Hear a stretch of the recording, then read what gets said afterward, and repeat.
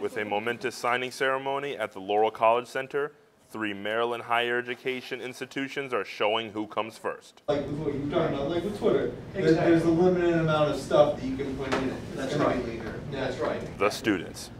Great day for Morgan, great day for Howard Community College, great day for Prince George's Community College, great day for the Laurel College Center, more importantly, great day for those students who will come through our program. Personally, I think it's um, a new opportunity. So for students who live around here, older people who really want to attend Morgan State, they have an opportunity of taking their classes here.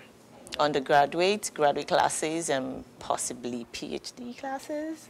So I think it's a good idea. Howard and Prince George's have been together here at the Laurel College Center for many years, and I think uh, reaching out to Morgan to bring other academic uh, classes and uh, to the city of Laurel and the surrounding areas is really what they were looking for to continue that partnership that they started years ago. This partnership between Morgan State, Prince George's, and Howard offers students more affordable education by taking classes at the Laurel College Center, a central location that features courses from all three schools at a fraction of the cost.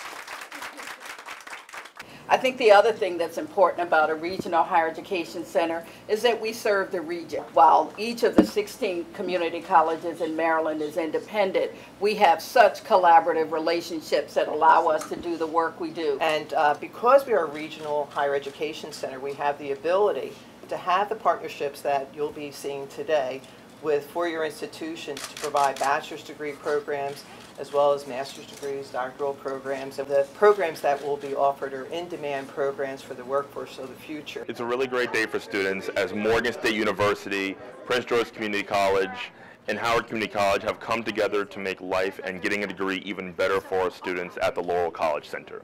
This is the document. And with it signed, a better education for the citizens of Laurel is within reach. I'm John Luke Zafir, reporting for Laurel TV.